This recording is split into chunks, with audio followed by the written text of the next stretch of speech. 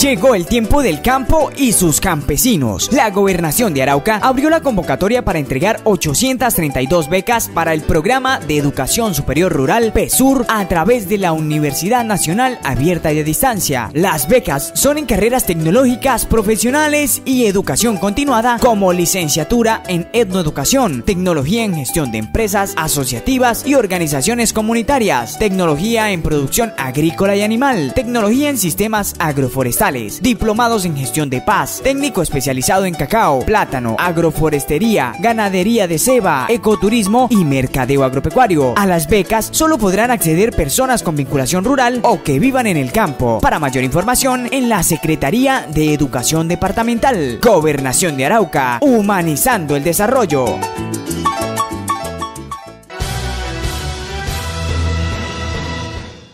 Este es el video de una cámara de seguridad donde quedaron registrados los dos hombres que descendieron de un taxi con pistola en mano e ingresaron a la oficina de la empresa contratista Ecopetrol en Saravena y se llevaron al administrador de esta empresa con rumbo desconocido. La información preliminar es que tenemos una persona que mm, visitaba una eh, empresa eh, y estos dos sujetos eh, llegaron hasta el lugar. Un empleado de, de esta multinacional es abordado, intimidado con armas de fuego y posteriormente lo eh, embarcaron en un vehículo con rumbo desconocido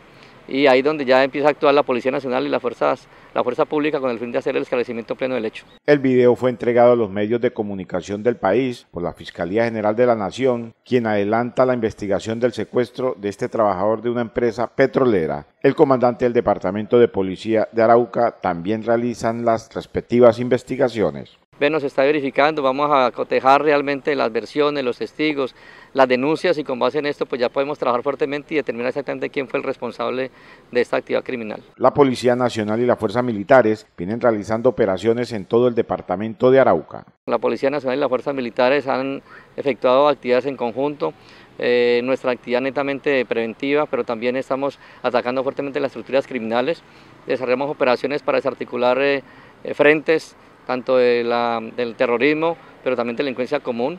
Nuestros planes están enfocados precisamente a minimizar afectaciones criminales y hemos logrado, como el año 2017, la reducción del delito y la captura de personas que han dedicado al, al delito no solamente con grupos armados ilegales, sino que también delincuencia común. El alto oficial dio unas recomendaciones para que denuncien cualquier acto sospechoso. La Policía Nacional siempre emite recomendaciones, especialmente que tengan los teléfonos comunitarios a la mano, el 123, que tengan los teléfonos de la Policía Nacional siempre eh, con el fin de poder informar oportunamente el movimiento de personas sospechosas, la circulación de motocicletas o vehículos, personas que posiblemente estén armadas y ante todo pues no coge la rutina, siempre tener sus cámaras de seguridad cuando están en estas instituciones, especialmente cuando hay atención al público. La empresa Ecopetrol y la contratista enviaron un mensaje a las personas que tienen retenida a este trabajador de esta empresa contratista para que le respeten la vida y lo liberen lo más pronto posible.